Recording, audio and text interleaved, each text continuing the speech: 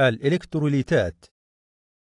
يعرف الإلكتروليت بالمادة الموصلة وهي تلك المادة التي تذوب في الماء وتعطي محلولا موصلا للكهرباء مثل كلوريد الصوديوم أو ملح الطعام. أما اللا إلكتروليت أو المادة غير الموصلة فهو المادة التي تذوب في الماء وتعطي محلولا غير موصل للكهرباء مثل السكر. المواد الإلكتروليتية منها ما هو قوي وضعيف. فالإلكتروليت القوي هو تلك المادة التي تتفكك كليا في المحلول وتعطي موصلا جيدا للكهرباء مثل كلوريد الصوديوم. أما الإلكتروليت الضعيف فهو المادة التي تتفكك جزئيا في المحلول وتعطي محلولا رديء التوصيل للكهرباء مثل حمض الخل. المحلول.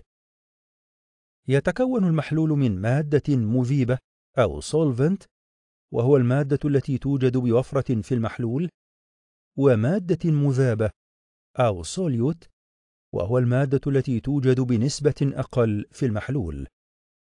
وهي ذات دقائق صغيرة للغاية وتذوب بشكل كامل داخل المذيب. عند إضافة مادة كالسكر مذاب إلى مادة كالماء مذيب والتقليب فإنه يتكون مخلوط متجانس يسمى بالمحلول الحقيقي. كما يسمى في هذه الحالة بالمحلول المائي لأن الماء هو المذيب. أنواع المحاليل.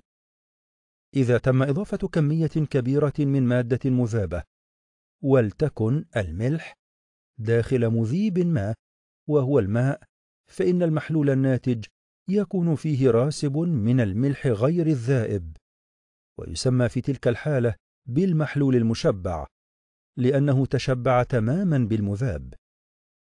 أما إذا تم إضافة كمية قليلة من مادة ما مذابة ولتكن السكر في مذيب ما وهو الماء فإن المحلول الناتج يكون غير مشبع لأنه لم يتشبع تماما بالمذاب وهو السكر.